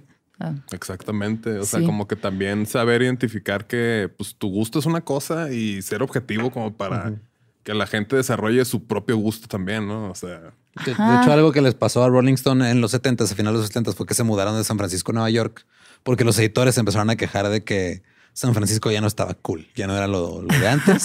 ya antes era como que una ciudad en la, la- que la- la- en lugar de se hippies, creaba la, tierra cultura, de, sí. de- Es hate, ¿no? Hate, la, o hate, hate, hate, la calle en, en, en San Francisco, Sí, que es donde está está todos los hippies. los haters. Ajá, los haters. No, de- ya no, ya no, ya no eran hippies, ya no era gente cool, ya era, Sí, sí, ajá. ya era puro turista. Entonces, ajá, Ajá. entonces ya no estaba cool y mejor se fueron a Nueva York y Claro. empezaron a absorber, o sea, se empezaron a volver el establecimiento. Empezaron a absorber a revistas más pequeñas como Cream, CBGB como también. Sing Out. Fue en el- los tiempos de CBGB. ajá, en los 70s este, empezaron a mandar muchos este, fotógrafos a CBGB a que cubrieran eso, Ok. pero lo cubrían con, o sea, con cierto desdén también. O sea, es como que la gente quiere ver el punk y les voy a decir por qué está mal. o sea, ese era el tipo de, de, de vibra que tenían en los 70s. Y en los 80s, en, en Inglaterra, hubo una huelga y te dejaron de publicar Melody Maker y dejaron de publicar Enemy. Luego volvieron con un nuevo diseño, nuevas cosas y ya se volvieron como que más orientados hacia la música popular, porque ya decían como que ok, otra vez estamos perdiendo gente que compra la revista. Tenemos que dejar de escribir tantas cosas sobre bandas que nada más escuchan 10 güeyes y ya tenemos que abrirnos un poquito más a eso. Aunque sí hubo un pedo en, en un güey que dijo, no, ni madre, yo quiero escribir sobre The Smiths. Y ese güey hizo que The Smiths fueran el hit que, que fueron, porque dijo, o sea, dijo, yo no quiero poner a ese artista pop que no trae nada en la portada, yo voy a poner a The Smiths. Y ese cambio fue algo como lo que pasó con David Bowie. Ok. O sea, que de repente ya tienes allá a Morrissey antes de que se volviera un Pero asshole. los Smiths tienen este potencial pop masivo increíble. Sí. O sea, sí veo más difícil que pegar a Sonic Youth o los Pixies, ¿sabes? Ajá, eso sí. Mm, Pues sí. Y Rolling Stone en los ochentas ya empezaron a hacer cosas como para reenfocar su imagen y ya dejar de ser una revista exclusivamente de música. Y era una revista de entretenimiento en general. Se hicieron un MTV antes que MTV. Sí. Y eh, estrenaron su nueva. ¿Y cómo les salió? ¿Cómo están ahorita? Pues ahorita más o menos bien. Pero ya no son, o sea, no- ya no representan lo que representaban en su momento. Lo que sí es de que empezaron a hacer, o sea, ya cuando Rolling Stone se considera que de plano se vendió al mainstream, fue cuando empezaron a sacar su edición anual del Hot Issue con así este fotos sensuales de artistas y ese pedo. Yo me acuerdo que hubo una vez muy polémica que pusieron a Lady Gaga o alguien como muy popero en la portada y fue un Sí. dramón. Y ese drama fue ya en los 2000 Sí. que ya en los 2000 fue donde empieza a ya volverse más mainstream la idea del, o sea, ya, ya donde los reporteros que nomás entre ellos decían poptimismo, ahora ya se lo dijeron a las masas. Sí. Sí, mira, no, es que sí hay que hacerle caso al pop y la chingada. En los noventas, el Melody Maker empezó a cubrir el, Hay que hacerle caso a la música. la neta sí. ¿Puedo hacer una nota adicional? dale. O sea, es que me quedé pensando en lo del periodismo. y Yo creo que el rol del periodismo no es necesariamente decirte si está buena o mala una rola o buena o mala un disco. Es como decirte, mira, este güey es este artista que tiene Ajá. estas influencias, que está sonando así. Esto es algo que yo destacaría. Esto es algo que a lo mejor está tenso o Me está recuerda a aburrido. esta o- otra banda de hace unos años, no sé. pues, Ajá, o, o puedes decir como, güey, me, me provocó estos sentimientos, o a lo mejor a mí me tocó, me- o sea, ya cuando entra la parte como, como de opiniones, a mí me costó trabajo y pues sí, este es un disco para dormir, ¿no? A Ajá. mí, ¿no? A o mí, sea, sí, a lo mejor yo porque soy muy tímida para dar, pero sí creo que, que, que en el momento en que los periodistas y, y los DJs de radio y los DJs de fiestas o lo que sea se ponen de snobs y, y- y buscan destruir algo, en realidad luego tienes que estar haciendo 10 años después otra vez tu chamba, güey. Ajá. Y hacer una re- te hacen una reseña nueva y quedas mal. Perdón, ahora sí, no. En los, ya salimos de los ochentas, entramos a los noventas. Melody Maker en Inglaterra empieza a darse cuenta que es- empieza a salir el house, el hip hop, trip hop, que el trip hop sí fue como mucho más allá en Inglaterra y empiezan a cubrir ese rollo. En el 93, que esto lo hemos platicado antes, pero lo voy a volver a mencionar. Sí. Sale una banda rock francesa llamada Darling y un, un crítico de Melody Maker les dice que es Daft Punky Trash. Y, después, ajá. y de ahí sale Daft Punk. Ah, vamos a usar esa sí reseña. Sí, para poner ese nombre. Entonces alguien que nomás por chingar dijo, estos güeyes tocan bien culero. Dijeron, ah, mira, pues ahora vamos a hacer los mejores discos de house de la historia. ¿Qué te parece? Perfecto. Y todo bien. Ajá. La Puedes revista- decir los nombres de los de Daft Punk. ¿Quién? G. Manuel. Ah, G. Manuel y Tomás, Tomás Bangalter. Bangalter. No, pero completo. Y Manuel de Home de Cristo. Y Tomás Bangalter ¿no? Díaz. O Homem Homer. Cristo. Homem Cristo. Sí, sí, era horrible en, en- en la radio cuando tenía que decir nombres en francés porque pues una no habla francés, ¿no? Y viene el Homem Cristo. Y luego ya este Rolling Stone en, en los noventas se empieza a convertir en una revista que ya se empieza a meter en pedos muy políticos. Y en los 2000 de hecho, se vuelve, o sea, los periodistas que entraron nuevos a Rolling Stone empezaron a destapar el pedo del colapso financiero, el pedo de este cosas, o sea, como cosas como que ya trascendían. La ¿De música. acoso la sexual? música. ¿O eso fue hasta los No, eso fue- eso ya hasta los dos- 2020s? hasta los 20s. 2010. sí, sí, sí. Pero eh, NME terminó absorbiendo a su enemigo Melody Maker. En el 99 Melody Maker se relanzó porque otra vez están teniendo pedos de ventas. Y luego en el 2001 eh, y- y IPC Media, la que era dueña de, de NME, le dijo a Melody Maker, ¿sabes qué? Te vamos a absorber. Deja de existir Melody Maker, se junta con NME y ahora ya no son enemigos. ya son- Hicieron un Disney. hicieron un Disney. Ajá. Y NME en el 2001 Enemy No More. ya no eran. En, en el 2001, Enemies es, es- es quien le empieza a dar mucha plataforma a todo el movimiento de los Dust, The Strokes, The White Stripes, The Vines. The Sums. A mí me gustan mu- No, los Soms era burla, ¿no? Sí, Sí, fue el video, ¿no? De que The, the Sums. Acá. Ah, Sí. A mí me gustan mucho de esos. Los de The. Todos los, Des- los de Des me encantan. Y justo en esta The época, Vines. Ajá. The Vines, The, the. Led Zeppelins, The, the Led Los Zeppelin. Hives. The Hives. Ajá. Uno de los mejores shows en vivo que he visto en mi vida ha Sí, sido The The Hives, Hives. de rock. Yo los he visto muchas, muchas, muchas veces porque todas las veces que se ha podido, o sea, que me toca un festival o que ya sea trabajando por gusto, sí es una banda que, que sí es de las mejores Así bandas que en la última vez que fui a la. Plaza Condesa, creo que fue a ver a The Hives. Ajá. Sí. Ay, el Plaza Condesa. Ya. No Mo. Es un foro en la Ciudad de México, por si. Era. Era. Era. tenía, estaba muy chingón sonaba. La última vez que vi a alguien ahí fue Hello Seahorse. Ajá, los hijos. Uy. Con el, Cuando puedes decir que De. Ah, con el de Hello Seahorses. Ajá. Sí. Con el disco estimulante. Saludos, saludos a Hello Seahorse y a Bonds que tienen nueva rola. Ah, sí, cierto. Tiene poquito que la estrenaron. Sí, sí, sí. Unas semanas, digamos, para no errarle a la fecha. Sí. y en los 2000 justo empieza el internet a tomar como que un poquito más de forma. Salen todos estos blogs musicales independientes. Había una madre que se llamaba el Hype Machine, que básicamente hacía lo que hacen ahorita los playlists de las plataformas. Tú, si alguien, del- o sea, dentro del Hype Machine, que era un agregador de blogs, publicaba una de tus rolas en un blog post y de ahí pegaba, eso era como la nueva portada de una revista, por así decirlo. Entonces empieza a salir Pitchfork, que se, Pitchfork empezó a finales de los noventas con otro nombre, que se llamaba Turntable, y luego ya se empieza a volver. Empezó como un blogcito de un güey que nomás quería hablar de música Ajá. y se convirtió después en un monstruo. Como sopitas.com. Ándale. Saludos a sopitas. Sopitas.com. y empezaron, o sea, es- el que lo empezó este Shriver en el 96, ac- se acaba de salir de la prepa cuando empezó Turntable, antes que se llamara Pitchfork. Ahorita acabo de tener un momento como el de Ratatouille que ves que, prueba y empieza a tener Ajá. como regresiones y, y- y- y estas cosas que estás mencionando, yo creo que me las borré a mezcalazos. Eh, pero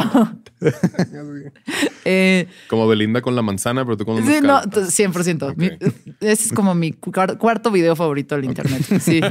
Eh, admiro su valentía. Sí, saludos a Belinda Eh, que nos escucha. A veces, Saludos a sí, nada. ¿no? Una Pero me gusta mucho la rola con. Los Ángeles Azules. Está buena. Es una gran rola. Bueno, eh, Ratatouille. me, me estoy acordando de Hype Machine y todo esto Ajá. que estás mencionando. Fue una, Sí. Ahí fue donde yo estaba así como que en mi auge de estar consumiendo música lo más que se pudiera. Ah, es Ahora- que este güey era como los de la Matrix que se Ah, me sí. así, pero tenía, tiene amigos que no conoce que son Ay, no, cibernéticos. Rock. Ajá, sí, güey, literal. Que se, que se pasaban. Que yo, ajá, o sea, el- la versión de Pirate Radio de esa época era, éramos mis amigos del internet y yo, porque nosotros, todos los, los leaks así de que salían antes de, de, de que salía el disco a la venta, yo los distribuía en internet. Ah, yo, yo era la que llegaba y te decía, ay, ay, Lolo, me prestas tu disco duro, por Sí, favor. yo tenía te que mis mejores amigos me pasaba toda Sí. la música. Yo, Ajá. yes. Y tú triunfabas y no hacías Sí. la tarea. Sí, o sea, como Siempre. como tenía bueno. Siempre Desde la prepa. Sí. sí, desde la prepa. Sí, eh, de hecho, justo eso me gustaba mucho ser a mí. O sea, me daban acceso a esos servidores a cambio de que yo dejara mi compu prendida con internet y se estuvieran bajando la gente los torrents. Y yo bajaba así de 10 discos al día escuchaba dos, tres horas de cada uno. Y luego decía, ok, este sí me lo quedo para mí, este nomás para distribuir. Ahora quiero hacer una nota aquí porque esta parte de historia musical ya la tengo más Ajá. presente. ¿no? Ok, sí. Eh, fíjate que cuando dijiste list y así dije, ay, bueno, no sé qué tanto. Ah. Eso nomás era como para darle un marco histórico. No, se me hace padrísimo. Aprendí algo ahí muy, muy, muy interesante. Yo te digo que yo pensaba que el primer rockstar de la música era Mozart. No, no sé. Pero Mozart también sacó una canción sobre mamar culo. Bueno, se llamaba Lick My Ass. Ajá, Lick My Ass. Sí. Es neta, güey. No estoy mamando. Yo pensé que porque Bad Bunny era el ¿Es Mozart neta? de esta generación. No, güey. no, pero es neta, es en serio. Tiene una partitura que sí se llama. El güey sacaba, sacaba canciones o partituras con nombres controversiales Ajá. para Ah, la de Mike Milkshake drinks all the boys in the club, ¿no? Algo así. In the The yard. Pero sí, ese, ese fue mi ajá. Sí, no, Sí, yo breve. así como perro Pavlova lo escucho. y- brevario Ajá, cultural de Mozart. No, no, no. Este, como que se hubo como grandes revoluciones en la historia de la música, ¿no? La primera fue obviamente pues el radio y el cuando empezó el rock and roll y fusionó cosas que culturalmente estaban pasando y sabes como eh, y empezó a conectar con una juventud que a lo mejor también estaba un poco asfixiada, como sabes como eso y luego pues a lo mejor la tele y el primer concierto de estadio y como todas estas cosas que fueron como impulsando la música de alguna forma como puntos. El más uno de los más importantes fue pues el boom del file sharing. Sí. Y, y, y- y a este periodo del que estás hablando hizo que como que, Que el- Lars se enojara mucho. ah, que Lars se enojara muchísimo. ¿Se acuerdan? sí. Que- Sí, ay, señor, su silla. O sea, por favor. Nos están robando los fans. Es como los que se están enojando con la inteligencia artificial. Es, en unos años te va a dar muchísima vergüenza. Sí, justo lo estaba, estaba platicándolo con, Ajá. con Lenny en el bonus track de la temporada pasada que vi un TikTok de este Billy Corgan hablando sobre la inteligencia artificial y dijo, ok, yo como lo veo es como una herramienta. Entonces, dice, yo que me considero un músico orgánico, que no sé ese tipo de cosas, pues voy a tratar, va a tardarme más, porque él dice, un artista es alguien que tiene buen discernimiento o buen gusto. Ajá. O sea, y a lo mejor no, o sea, No con- necesariamente la técnica. Ajá. Entonces dice, va a haber ahor- ahorita gente que le va a decir a una inteligencia artificial, hazme este, tantos beats o tantos en este estilo y va a escoger la que va a ser un hit. Yo tengo que hacer todo eso desde cero y me va a tomar más tiempo. Pero no lo ve como una, o sea, Sí, lo ve como un- una herramienta más, pues. Está es un cambio que va a pasar. Ajá, sí. se- sí. Que se me hace raro porque Billy Corgan sí es un este señor muy, este, con opiniones muy extrañas de repente. Sí. Sí creí que iba a estar con su opinión de viejito miado sobre la inteligencia artificial, pero y no. no, no, no. La verdad Todo es que cool. también ahorita lo dijiste y mi cabeza va, The world is a vampire. Conmigo es el de este de la montaña rusa. Sí. Uy. Gran video. ¿Sí has visto ese? No me estoy acordando. Ahorita te lo pongo. Pero Ajá. los quiero mucho a los Smashing Pumpkins, la verdad. Mucho, mucho. Me quedé con las ganas de venir a su festival. Y justo en los 2000, o sea, Yo cuando quería ver todo a este pedo Turnstile, de- pero sí. cuando empieza todo ese pedo de- del file sharing, de los blogs, eh, que empiezan a salir plataformas como MySpace, Pure Volume. Eh, yo me acuerdo literal, había una que era mp3.com. Simón. Ah, eso era buenísimo. Y en MT mp3.com podías bajar los sencillos de las bandas indies y, o, de, o de las bandas que ya estaban establecidas, pero eran cool. Sí. Que dijeron, ah, ok, o sea, ya no, ya no nos va a pelar Rolling Stone porque está haciendo cosas hablando de la economía. Pues vámonos al Internet, güey. Lo soltamos acá y solito que la gente juzgue. Eso es, o sea, lo que iba de, de esta revolución es la más importante porque creo que pasaron dos cosas. Ya no había. La primera es qué padre que algo que hace feliz a tanta gente esté en manos de más personas y qué bueno que vaya rotando el modelo de negocio y que tanto puedan vivir los músicos de eso como que más gente pueda tener acceso al contenido. O sea, al final eso es como muy importante la democratización de, del arte, ¿no? Pero creo que otra revolución muy importante en ese momento fue que la radio y los medios tradicionales estaban volviendo, pues obviamente, enfocados en la ganancia, enfocados en qué está de moda y era pues, muy mainstream. Y era cuando el pop no estaba tan chido, la neta, era cuando era de, como yo le digo, bloops de biblioteca, ¿no? no estaba Timbaland haciendo acaso magia.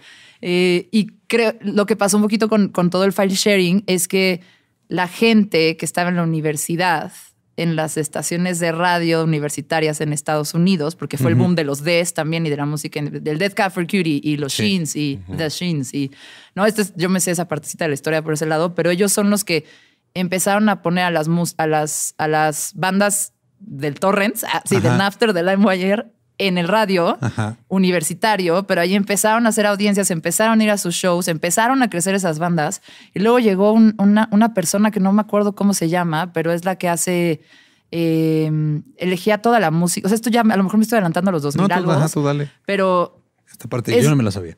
ah, es, es la, se me olvida el nombre de, de los que hacen, eligen la música de las películas. Este, Mm, Ah, pues los curadores, Digámosle. Elegidores musicales. ay, ahorita me acuerdo. Fílmicos. Ahorita me acuerdo. Pero bueno, esta persona eh, empezó a meter esa música, porque que, que sa- que empezó a pegar en las estaciones de College Radio, las empezó a meter en las En películas, y en las ajá. series. Entonces metió a los, a los Sheens en Garden State, Mm. metió a Dead Cat for ese Cutie en The. OC, Sí. que era una serie así de adolescentes Es una millonarios. novel, es una novelota novelota, ese pedo, sí, sí. pero uno de los personajes se la pasaba cantando canciones de Death Cab. de you Cab for. Cutie. Ajá.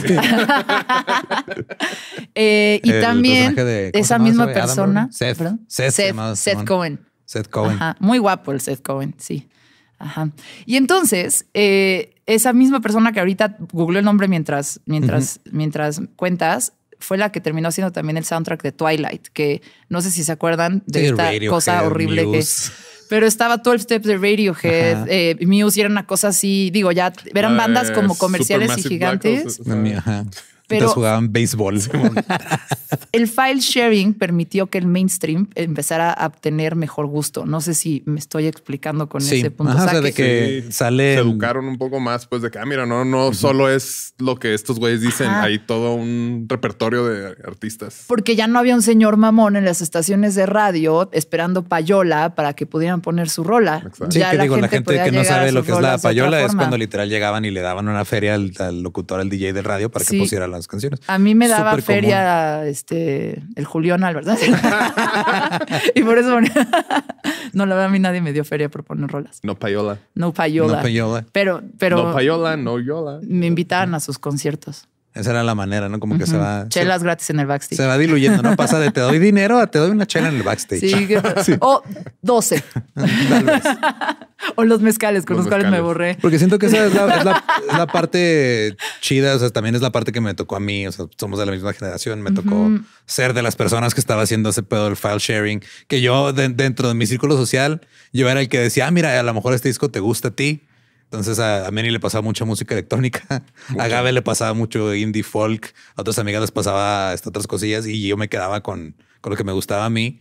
Y era como, yo lo veía nada más como que "Ah, eso es, es mi hobby, es lo que hago Sí. pero luego se empieza a convertir en una, así como les pasó a las revistas en su momento, Ajá. que justo es como que donde quería llevar como eh, eh, que es un movimiento que se ha repetido en diferentes medios. O sea, sí, pasa en el nuevo radio, y pasa en la televisión, pasó en MTV, que hicimos un episodio, el episodio octavo de la ter- tercera temporada sobre MTV, que es, es más o menos lo mismo. O sea, llegan, se establecen, se convierten en el establecimiento y luego llega algo más y los tumba. Que siento que ahorita es lo que está empezando a suceder con. O sea, en su momento pasó con lo que eran MySpace, Pure Volume, Pitchfork. A Pitchfork le pasa lo mismo que le pasaba a Rolling Stone, que empiezan a quererse volver este, muy mamadores en sus reseñas y empiezan a poner, ah, este disco se merece un 7.15. Y O un cero, algunos son cinco. el review del segundo disco de Jet que hizo Pitchfork, que literal nomás era un video de un chango meándose solo la boca. De Esa era la ya, reseña. pues, sí, ya. Ya me acuerdo. ¿Qué, qué- qué les pasa? ¿Qué digo? ¿Qué es lo que yo decía? Es como Sí, que está tan mal en ti. ¿Qué está tan mal en ti que tengas que decir? O sea, Le voy a dedicar tiempo y energía para. ve, yo me estoy encabronando. Encabrónate, Pues ahí va. Ahí va. madre Pitchfork. Un día fui a ver stand-up de gente nueva, stand-uperos nuevos. Eh, y la neta es que llegué y me senté, estaba acompañada de una amiga, y me senté y dije, güey, qué hueva este pedo, ¿por qué estoy haciendo? Y en eso como que me entró un policía, yo supongo que de la moral, güey, o de la buena ondez, y así como un policía dentro de mí, que cuando ya la arma de pedos, no, güey, acuérdate que tiramos buena onda, Salió. Kronk aquí así. No, y, y lo que pensé es, güey, esta es una persona que tiene una necesidad creativa como todas y que se está aventando a exponer su creatividad y su forma de arte y su expresión y su ser a más personas. Deberías de estarle aplaudiendo solo por los huevos de oro o varios de... Sí, o sea, mínimo lo, lo mínimo Oro. que puedo hacer es ponerle Sí. atención y no cagar el show. Si, si me hace reír, qué bueno. Si no, no. Re- o sea, respétalo, uno, Exacto, pero ajá. no, también celebra su valentía. Creo que desde cuando tú te acercas a la creatividad, celebrando la valentía de las mentes creativas y por creatividad, creo que se, tiene, se puede ser creativo hasta para evadir impuestos. O sea, Sí. Claro. creatividad. Saludos a creatividad- Belinda otra vez. Sí, saludos a Belinda. Eh, no, por, por- o sea, por creatividad y ya hablando de industrias creativas, así es. Yo creo que hay que celebrar la valentía de la gente que logra exponerse eh, y acercarte con respeto a lo que producen. Y yo he pecado muchas veces de decir, ah, esto es una cochinada. Sí, a mí también no me qué". pasó. Sí, sí, La sí. trova nunca, ¿no? Pero, pero sí. No hay gente que le mama la trova y es como que Ajá. yo por qué estoy diciendo eso. Si a mí no me gusta, pues nomás no lo escucho. Es como, Exactamente. Y si no te gusta, ok, di por qué no, di de dónde crees que se repite, di que, que hay de bueno también o qué oportunidad viste. Pero faltarle respeto hacia un artista con el poder que tenía Pitchfork en su momento se me hace re mala onda y esa persona espero que esté súper arrepentida y haya cambiado su vida a partir Digo, de ese porque hubo, pasó, pasó algo similar. No me acuerdo qué disco fue, pero también Rolling Stone una vez publicó una reseña en los ochentas, me parece, que la parodiaron después en la película de Spinal Tap. eh, que también era una reseña de dos palabras de básicamente esto es caca. y ya, o sea, y esa, esa no es una reseña, güey. No estás reseñando nada. Eso es una opinión. Sí, no. Estás opinando que a ti te parece caca eso, Ajá. pero no estás ni siquiera argumentando el por qué. O sea, nomás es de y, y eso es en lo que caían muchos. O sea, siento que lo que lo que me ha tocado ver en los últimos 10 años es de que ya la- o sea, el- a través de Twitter, ahora a través de o sea, Twitter, YouTube, Facebook, Instagram, TikTok, a la gente le gusta que le den una opinión que pueda repetir. Sí. O sea, la gente eh, lee o ve algo y dice, ah, mira, ya me dieron una opinión formada, estoy de acuerdo con esa y esa va a ser mi opinión. Yo no se ponen a a formar la propia. Sí. Entonces, estas personas justo se aprovechan de eso, de que llegan y te dicen, ah, mira, este disco está chido. ¿Por qué? Porque yo digo, ah, gracias, déjale, digo a mis amigos que ese disco está chido Porque dijo y tomo esa Porque opinión yo como digo. la propia. Ajá. Y siento que eso es lo que pasa a veces. O sea, cuando empiezas a tener gente que te escucha, gente que consume lo que haces, hay veces que se te va el pedo y te sientes como muy importante esa huevo. O sea, la gente me escucha porque eh, lo que yo digo es la verdad y no está chido eso. O sea, si hay momentos en los que tú también te tienes que dar cuenta de o sea, como lo que tú dices, o sea, ¿qué necesidad tengo yo de estar chingando a los demás nomás porque la gente me escucha y va a empezarlos a chingar si les digo que lo hagan? Sí, y, o sea, puede no gustarte como periodista, ¿sabes? Ajá. Y puedes expresar una opinión con argumentos o lo que sea, pero también sí creo que, que, que si tú te aproximas a cualquier producto creativo de alguien más con celebrando la valentía de que lo sacaron, a partir de eso, creo que de repente sí encuentras que está padre o por qué podría estar padre o a quién le podría gustar, que esa creo que es la labor. De un, de un DJ de radio o de un curador. musical o de, Sí, ¿sabes? Es que, como, mira, ah, ¿esto para qué es? ¿Dónde esta, cae? Esta Ajá. rola creo que te va a gustar a ti, que te gusta. O nada más no la- la madre. a ti O que te nada gusta más la no mierda. pongo, o sea, nada más no la pongo y paso, Sí. pero cagarte en el en, en la cosa preciosa que, o sea, hablo del güey que puso una reseña y era un, chango man. tomando su pipí. Este, es, o sea, creo que eso ya es como quitarle la dignidad a Sí, o sea, igual puedes decir, ¿sabes qué? El disco no hizo, o sea, no, no, a mí no me gustó, pero ya ponerte en ese plan. Ahora, ahora bien, Lolo, Ajá. quiero decirles que sí me río un chingo en ese stand-up. Ah, exacto. Qué bonito. Sí, estuvo muy Te padre. quitaste como que esos. Sí, en lugar de llegar de pretenciosa de ah, esto no es. por ejemplo, nos pasó en el Corona. Capital este Ajá. pasado que eh, Manny nunca había experimentado a Marina. Ah, yo no sabía que era Marina. que Marina, va a de ser Diamonds. Marina de Diamonds, ahora ya nomás es ¿No es Marina. Marina. Ah, Y fue de, "Ven, vamos a sacarnos aquí, güey, tú velo. Y él se Sí, puso que- justo en el, mira, no sé qué es, pero vamos y con mente Y abierta. fue y- del mejor show, de los mejores shows que he visto. Fue de que viene saliendo esta diosa, así de que.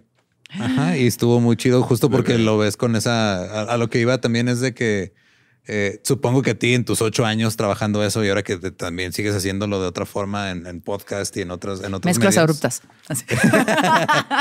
Eh, hay un episodio conmigo ya. Ajá, ese es padrísimo. Hay muchos muy, muy buenos. Ay, muchas gracias. Y este, supongo que en algún momento te llegó ir, no sé, la, la oportunidad de ir a cubrir artistas que te gustaban mucho. Sí. Y en otras ocasiones fue de, voy a cubrir Pues es este no. concierto de esta persona que no conoces o que tal vez no te gusta. Y es tu chamba, o sea, tienes que hacerlo. Sí. ¿Cómo lidiabas tú con eso? O sea, si llegaban y te, te decían, oye, tienes que ir a cubrir este concierto de esta banda que sabemos que no te gusta.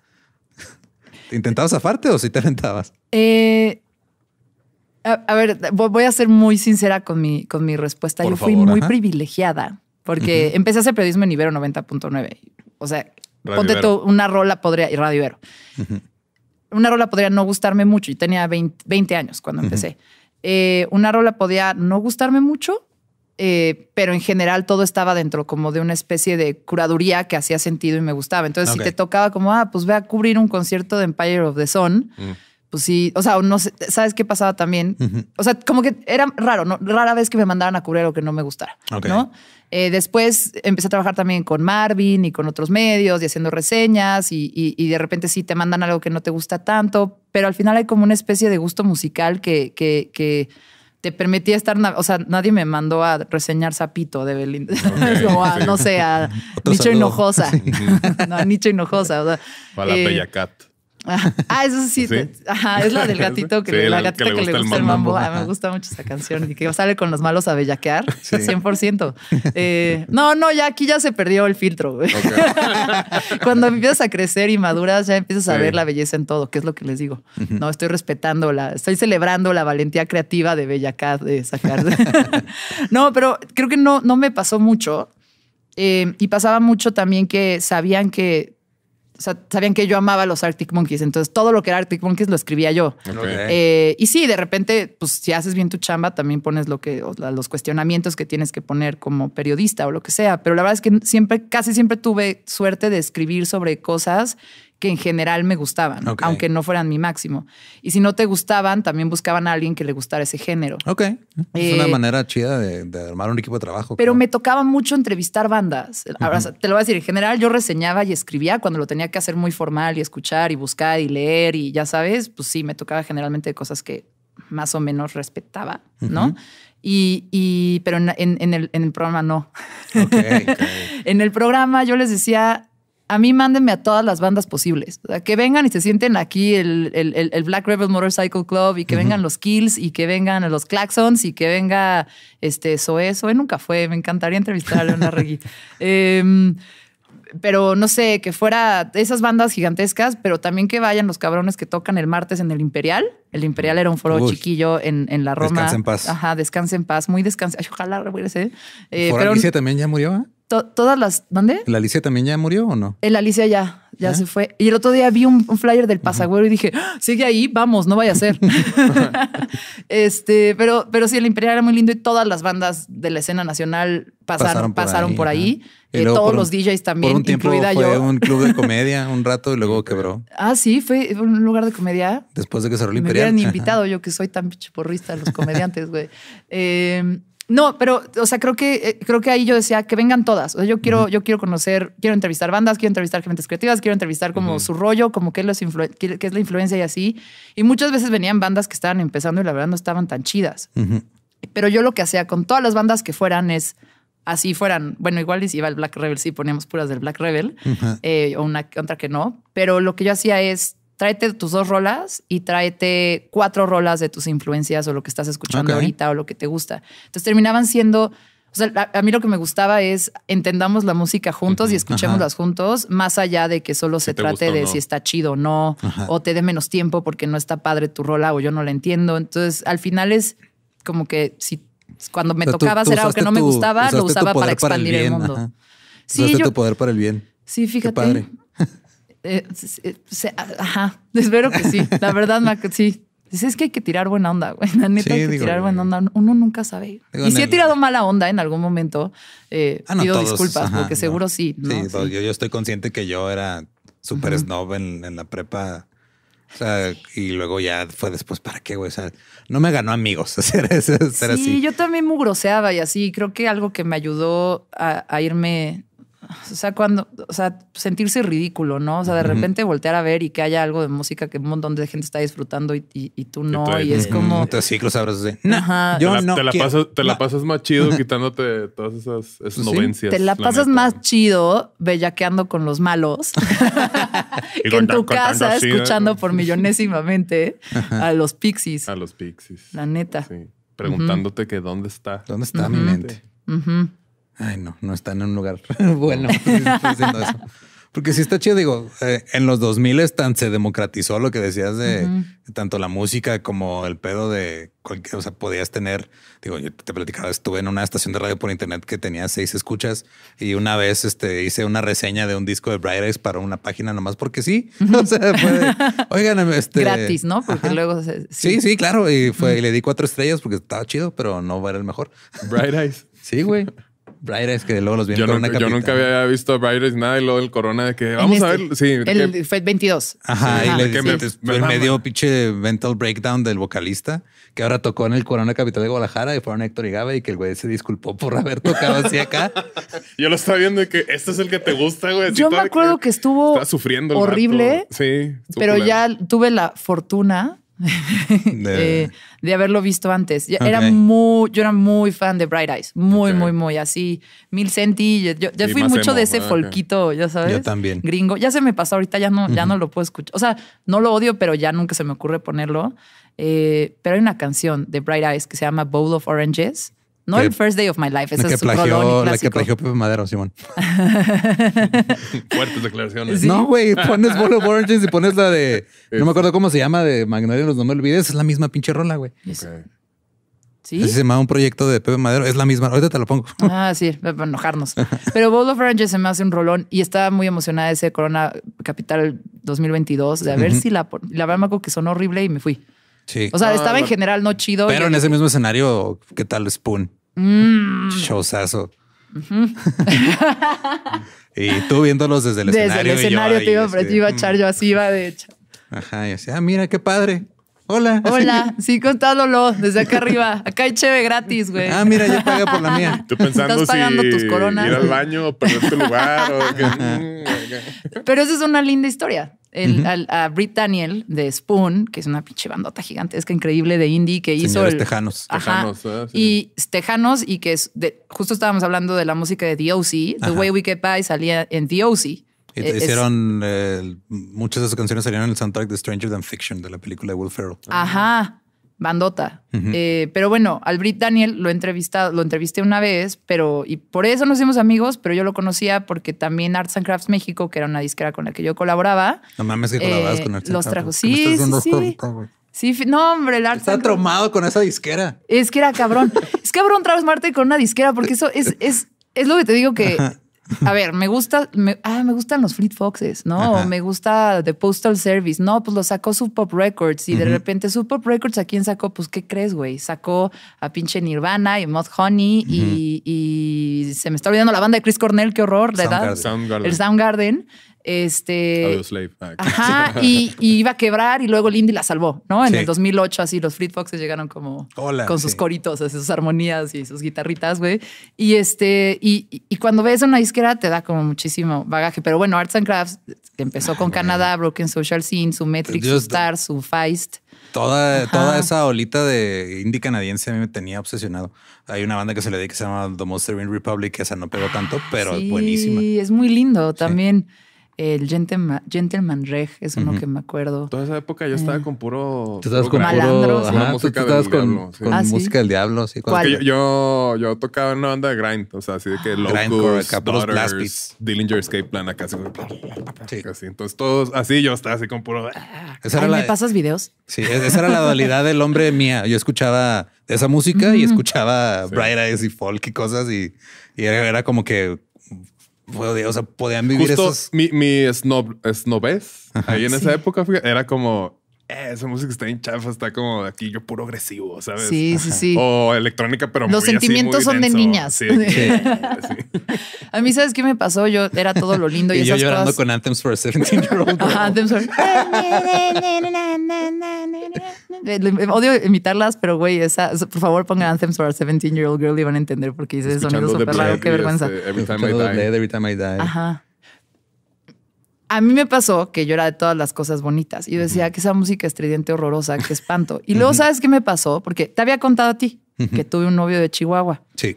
y que se me rompió el corazón y después de eso ya me entró Juan Gabriel. Ya entendí. Yo no lo había entendido, no Sí. nada. Ya entendí, ya entendí a la banda MS, ya entendí al Julián, ya entendí a, por supuesto, a Nodal, ya, ya entendí. Sí, Yo no había es eso, entendido, no me había música, pasado. sí. No, O sea, de eso que te tomas así el trago de algo y no te pasa, ya me pasó. ¿ok? razón. Con- ah, con razón. ¿No? Y la otra es también en una fase de mi vida cuando estaba yo muy positiva y bonita así, pero estaba muy enojada con una situación que no podía cambiar. Y empecé a, me- me- todo entró a mi vida por No Age y Mets, toda una Ok. banda Mets con Z.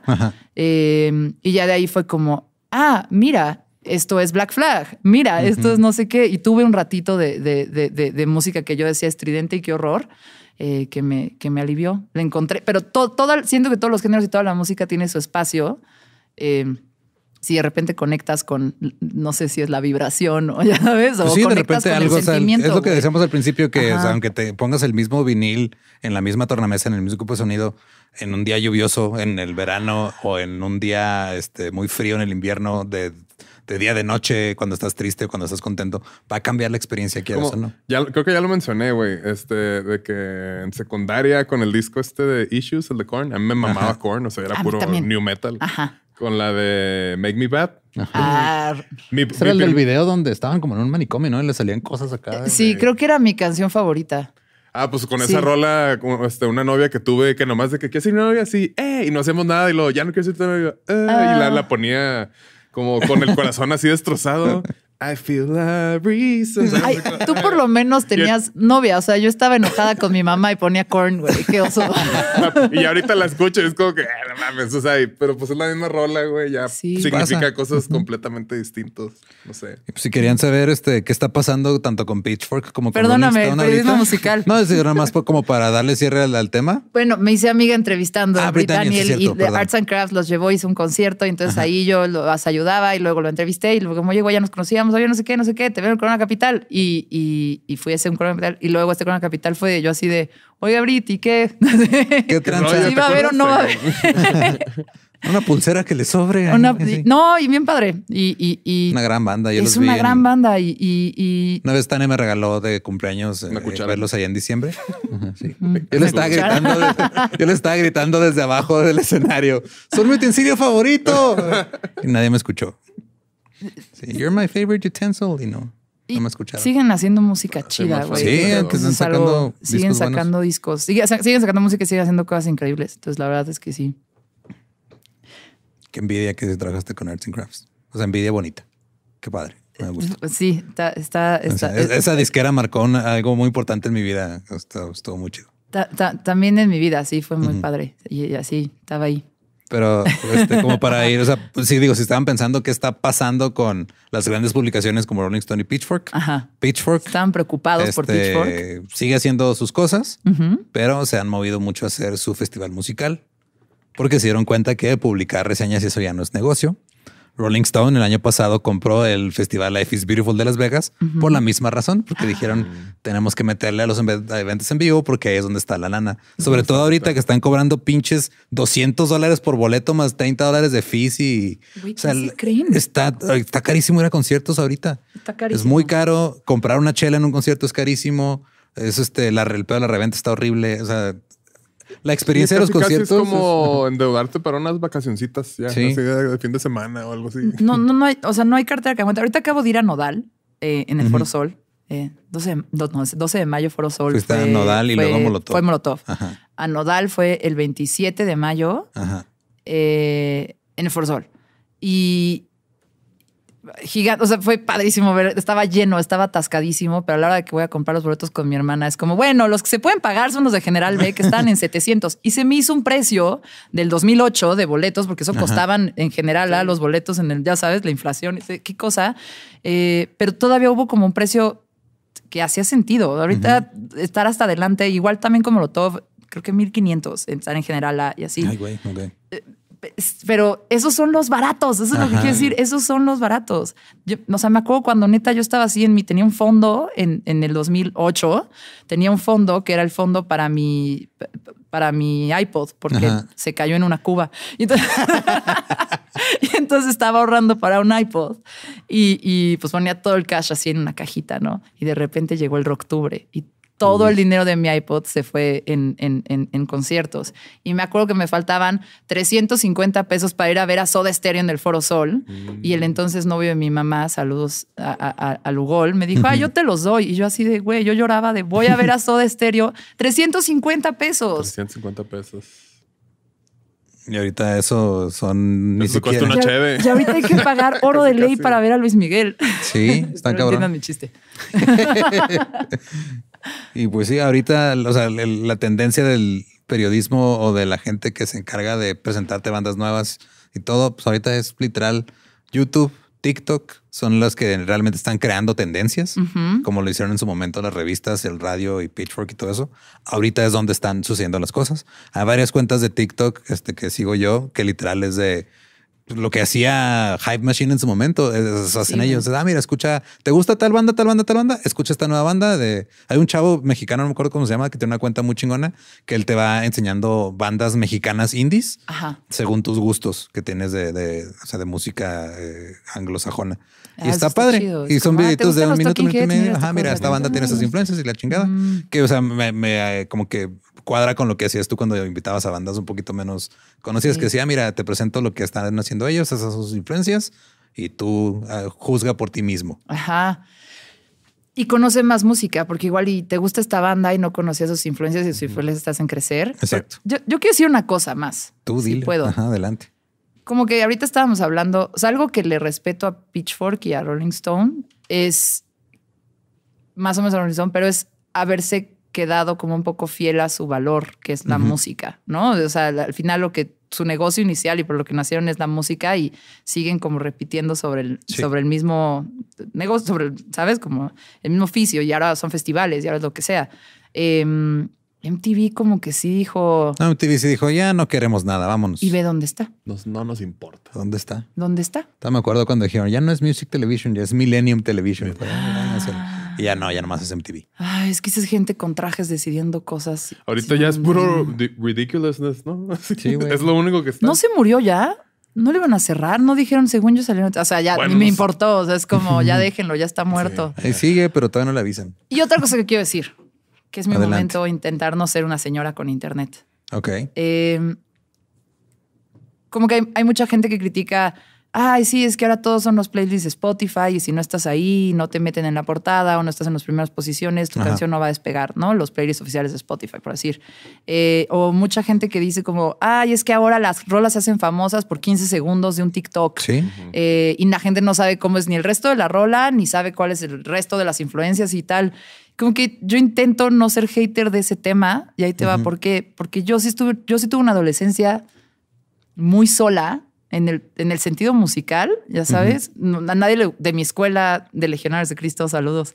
Sí, no creo que estuvieran escuchando. saludos. Sí, mira, has escuchado No. a Leslie Feist y o sea, alabaré, alabaré. Pues no. Ay, el otro día estaba que en una, en una, en una despedida de soltera y pusieron Toma mis manos, te pido, toma mi alma. Guay. Y todo el mundo en el bar en Puerto Escondido se Cantando. puso a cantar. Oh padre, tuya soy. Guay. Tuya soy. No, No. era esa, no, era la de. Era otra. Pero de todos igual. modos, o sea, guay. Ajá, estuvo. Pues me gustó el sentido del humor, la neta. Em, en fin, como que creo que yo tuve ahí como una adolescencia medio sola, no tenía primos grandes, en el sentido musical, no, no tenía primos o hermanos Sí, grandes que me como esta pusieran figura, rolas. ajá. Este, en mi escuela, pues mis amigas casi no escuchaban eso. Había una que escuchaba mucho Soda Stereo y no lo pasábamos. Había otra que le gustaba eh, Nat King Cole y Frank Sinatra y como Ah, cosas así. Pero Ajá. nos poníamos roles, pero en realidad era yo solita y Radioactivo y Reactor 105 y 99 y, y Napster, ¿no? Y MySpace y así. Ajá. Pero también siempre he sido Mowgli, entonces no entendía cómo buscar. Eh, y, y fue, fue como sola, o sea, fue, fue raro. Y ahorita lo que creo que está padre es igual ya no tiene que haber como un intermediario en, un- en un micrófono o un señor escribiendo una reseña desde el amor o desde el odio o desde sus, Ajá. desde sus heridas. Así de que. pero, pero, o sea, fuera de eso, me gusta mucho lo que está pasando. Me, me gusta que descubrir música sea esta cosa como que como en muchos diferentes medios y Sí, que si sí. alguien no sabe a quién preguntarle qué, lo pueda buscar y le pueda Sí. dar clic y, y, sabes, y poner radio de esta canción y descubrir chingos de cosas más para quien sea que se sienta solo en el mundo. Los algoritmos a mí se me hace algo Qué bien chido también que de repente lo medio lo alimentas y luego es que, "Ah, nunca hubiera llegado yo La parte que sí está creepy banda". que le estaba platicando ayer a Manny es de que Ajá. por lo menos en Spotify eh, USA están ahorita en, en beta Sí, eh, tu DJ de inteligencia artificial ajá. que literal tiene voz y te habla personalmente a ti. Es una voz de inteligencia artificial que tú lo pones y te dice, oye, ¿qué tal? ¿Cómo estás, Susana? ¿Qué te parece si hoy escuchamos a Leslie Feist? Porque te gusta y te pone y te habla y tú le puedes cambiar la voz si quieres. Puedes que te, que te hable más, este, o que te, o sea, te- tienes como que diferentes DJs por diferentes géneros musicales o Pero no diferentes es moods. nadie, son- son pero es una voz este, de inteligencia artificial imitando a un locutor Skynet. noventero. Y te va a ventanear como te ventanea el Spotify Rap. Así de Sí. que tú hablando acá de Sonic Youth, la canción que más escuchaste, Negro de J Balvin. Sí, te van a, sí, sí. Esa, eh, ese es el futuro del radio. Y lo, todos esos DJs se van a juntar y luego ya nos van a quitar a todos el medio. Sí. Casi ya Está viene bien. Skynet. O sea, a lo mejor ando muy positiva porque tomé mucho café. Pero, Puede ser. pero gracias al algoritmo que hace que mucha gente sí que no se atreve a preguntar o que se siente sola y no tiene primos influenciadores, no tiene un Lolo. Sí, porque es que a, a mí me pasó lo mismo. Yo siempre he escuchado a otros hablar de esta figura de, ah, es que tenía un hermano mayor, tenía Sí. un primo, tenía una tienda de discos ahí, tenía un Jack Black en High Fidelity que me gritaba y me ponía las cosas chidas. Yo tampoco, yo tampoco tuve esa, esa figura. Mis papás eran muy musicales, pero su música Está pues, muy limitada, ¿no? Era, o sea, mi papá de repente ponía Vivaldi, de repente ponía Rigo Tobar, mi mamá escuchaba sí mucho lo a los Beatles, mi, mi mamá escuchaba también mucho a los Teen Tops, o sea, y como que siempre había música, pero como que yo la veía acá, es la música de mis papás. Y yo, ah, gracias al internet, encontré como que mi camino, fui formando mi, mi, mi biblioteca y mi, mi gusto musical. Y justo siento que ahorita ya alguien que está en esa posición, porque yo literal tuve que aprender a usar torrents, a, pa- a configurar un servidor para, para poder hacer eso. Ahorita nomás bajas la aplicación. Tuve que aprender y fue un minuto nomás de que ya, ya sé. Luego Sí, ya- como I know Kung Fu, Sí. I know Torrents, I Sí, know file sharing. tocaba así la pantalla de la compu y ya nomás. Sí, ajá. Listo. Es como, güey, ya toda la tengo todo. discografía de el- los Beatles. Y sí la tenía, sí la tenía, güey. Tengo, oye, no puedes hacer eso con la discografía de Prince, Híjole, hay unas que están en una bóveda que no, que no salen. no van a salir. Si te paras cerca de su casa, te ponemos una antena. A lo ex mejor casa. así. Pero pues No, sí, o sea, aquí, siento que está padre y siento que esa, esa figura, o sea, de, del, o sea, viendo a la, a la persona que se dedica al periodismo musical o al periodismo musical como esta disciplina que te está diciendo qué está pasando en el mundo de la música, simplemente ha mutado de medio. O sea, en su momento eran eh, compositores alemanes hablando de otros compositores alemanes en una revista en los 1800. Ahorita es gente en TikTok diciéndote, oye, ¿sabías este pedo? ¿Sabías esta banda? Este va a haber tal festival, estas bandas tocan y si te gusta esta otra banda deberías ir a verlas. Eso es, o sea, siento que esa necesidad no, o sea, se sigue cubriendo de diferentes medios y se me hace chido se me hace muy chido y, creo que, tipo, ya al final, mis últimos años de 99, que era 2015, 2016, como que yo decía, a ver, yo no, les voy a poner una rola antes de lo que tú la puedas descubrir, pero podemos hablar sobre la rola y podemos poner otras rolas que me recuerdan a esta rola. Y esa especie como de, de, de Perdón por pochar, pero el, rabbit hole de, entramos, la madriguera de conejo. Ajá, entramos por, por los strokes y luego descubres como al, al, Velvet Underground y luego de ahí y a lo le pones a alguien a Gang of Four y se da cuenta que el Britpop se inventó en los 70s, no en los 90s. Ajá. Eh, creo que esa, esa, esa parte está bien chida. Acabo de escuchar un. Ya me voy a callar. No, no. no, no te apures. Acabo de escuchar un episodio en Unexplained. No, de hecho, no estamos grabando nada. Ah, Tú no te apures. ah, casi ya nada más. no, no es cierto. Em, hay un podcast que se llama Unexplained, Unexplainable. Unexplained. Unexplained. Eh, X. Algo Ahí les dejo el link. No explicado, no explicable. Ajá. Es de Vox Media. Eh, y acabo de escuchar un episodio que se llama Awestruck. Entonces, es, Awestruck es cuando te sorprende algo, es cuando estás como paralizado porque algo te sorprendió, aprendiste algo, es tu momento de no mames, Velvet Underground. Em, o, cuando, cuando descubres de dónde vienen los samples de tus canciones favoritas de hip hop, es como. Oh, sí. Ese, eh, y habla, explica a un científico que estudia el fenómeno y qué pasa en tu cerebro cuando eso pasa y así. Al final, conclusión del episodio es cuando tú descubres algo de lo que aprendes que te sorprende, que te abre tantito como la mente de, ah, no mames, yo no sabía esto. Ahora sé de hip hop y, de, y, de, MTV y de, ahora sé de asesinos seriales, ¿no? Pero ese, ese momento que tienes de como aprendizaje es un momento muy lindo en la mente humana porque es cuando empiezas a hermandarte, como que tu ego baja, este, tus reservas bajan, como, ay, yo ya sé todo, ¿sabes? Ese momento es donde de repente logras conectar con otras personas y trabajar mejor en equipo y ya sabes, a lo mejor estoy diciendo novedad y a lo mejor no necesitábamos un podcast que nos los explicara, pero creo que con la música y con la labor del periodismo musical pasa mucho eso. Es como, ah, nos gusta lo mismo y mira, descubrimos esto, pero viene de esta banda, viene de esta otra cosa y empieza a expandir tu mundo y te sorprendes y, y sabes, esta rola Step to My Girl es del sample de, de, de, Step de Vampire Weekend, ¿sabes? Y dices, ¿qué es esta rola de hip hop? Está más cabrona que la canción de Vampire Weekend. eh, creo que ese momento es donde, pues, bajas la guardia y haces amigos y abres eso. Y la música nunca debería ser para no hacer amigos. No, porque qué bonito que dices a ese momento en el que aprendes algo dijo un episodio de Ted Lasso, sé curioso, no seas juzgón. Sí. Este... Que, o sea, que aprendes algo y es una sensación tan bonita, entonces como que poder tú darle esa sensación a las personas, o sea, y quitarte los no y todo, que, ah, mira, o sea, yo siento así cuando aprendo algo, entonces si comparto estas cosas, pues como que qué chido que se empiece a hacer esa comunidad. sí, crear buena onda. Perdón por las veces que fui juzgona y no fui curiosa. Disculpas pido, disculpas públicas. Me disculpo públicamente. Pero aquí es donde les pregunto, ¿qué hubieran hecho ustedes? Ay, pues mm. muchas gracias por aceptar la invitación. Ay, no, estoy muy platicamos, platicamos muy, chido. Eh, digo, me enseñaste de mi profesión. hemos platicado muy chido también fuera de micrófono y supongo que eso va a seguir pasando, pero escuchen mezclas abruptas. Ay, eh, sí. Hay varios, ah, digo, este, me gusta la dinámica del podcast. ¿Lo explico? Si quieres, dale. Mezclas Abruptas es mi nombre de DJ. Ajá. Soy muy buena selector. Él dijo muy bien que va a sonar. Siento que mantengo el mood de una fiesta muy bien, pero pues suceden accidentes, ¿no? La niña es distraída.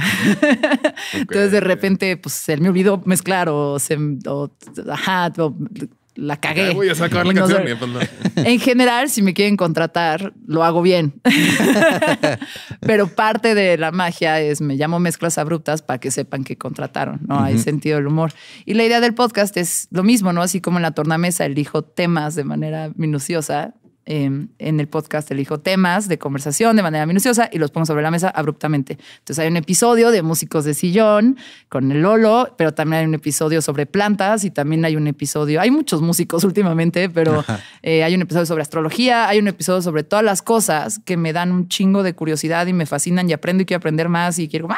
hay que ser amigos de toda la gente que siembra plantas y cuida plantas. Eh, es- yo, yo yo supongo que es un poquito ese fenómeno. De eso se trata mezclas abruptas. Además de que aprendo un chingo, la neta. Está chido. Y pues a nosotros nos pueden seguir en redes como músicos de sillón. Ajá. ¿A ti cómo te pueden encontrar en redes? Como arroba Susie Rain. Susie Rain. S-U-C-T-Y Rain de lluvia en inglés. Así lo tenía que decir en el radio porque obviamente nadie sabía escribirlo. Y es una cosa que salió de un handle de Messenger y de MySpace. Mira, mi Perdón. primer nickname era The Loust por el disco de Mars Volta. Todos tenemos un. Tengo un amigo que hasta la fecha es RRD en todas las redes. R- Por RBD. RRD por eh, Rain Rain Down, que es una frase que repite en una canción de Thursday del 2001. Órale. Sí, la de Paris in Flames. Yo nunca quise hacer ese compromiso con ninguna banda, la verdad. No. No, yo sí, yo sí, yo, yo, yo, ajá. O sea, como ponerle la estampa de los Strokes, siendo los, los Strokes de mis bandas favoritas en la vida, porque aparte fue muy generacional. Pero sí dije, güey, nunca le voy a poner la estampa de una banda a mi coche. No, yo sí traía Eh, un par. Nunca me comprometí con eso. O sea, Pero yo por lo general ponía puras de punk. ajá, Traía una de Rancid, me acuerdo, en mi centra. sí. ¿Melancolin traías tú o no? Melancholy no, esa era Claudio. Claudio. Uno de esos dos. Bueno, amigos de la... Amigos de la prepa. Y extrañamente dirías, ah, el coche que está ahí con estampas de punk, ese no se me va a cerrar. Si le pongo la direccional, ese sí me va a dejar pasar. Y chance el que trae así como el pececito, no, no. Sí, ese sí, no, sí. Te va a rayar la madre. La santa madre. Y pues a mí me pueden seguir en mis redes como ningún Eduardo. A mí no me pueden seguir. Ay, Ay, no, ya no. ya no. Este, estoy... No soy Manuel en Instagram. Y las otras estoy como Casemiro, pero nunca las uso. Sí, si. Me dio mucho gusto conocerte. Ah, a mí también. Que escucho mucho su podcast, señores. Qué Quiero chido. Sí, aprendo. Qué chido. Y pues saludos a todos. Gracias por escuchar. Escuchen mezclas abruptas. Y ahí está. Deja de hacer eso. Mendicuti me está flash. enseñando sus pezones.